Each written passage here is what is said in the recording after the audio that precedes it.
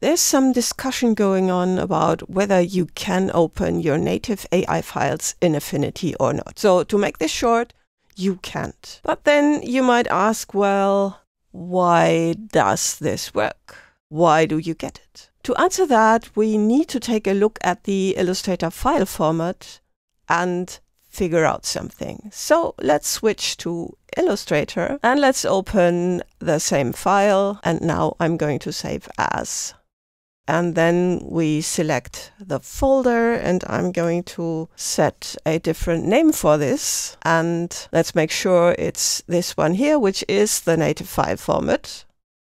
But then we come to the options. And here's where it gets important because we have this option here.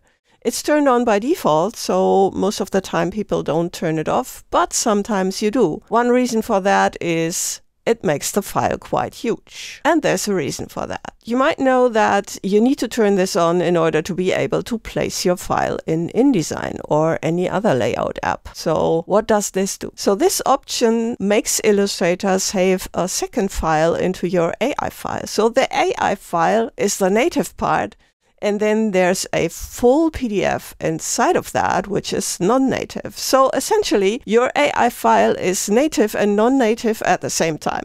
Let's turn it off.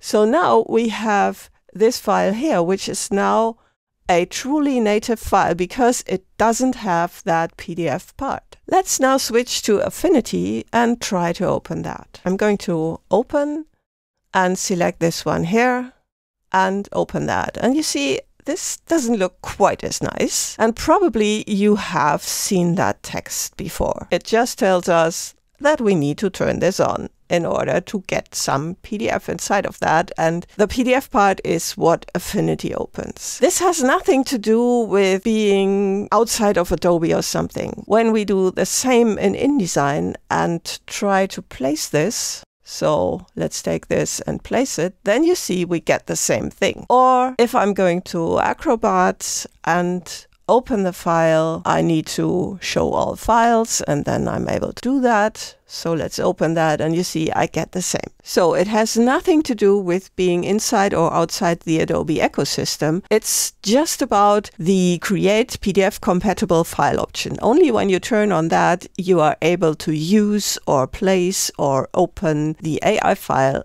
outside of Illustrator.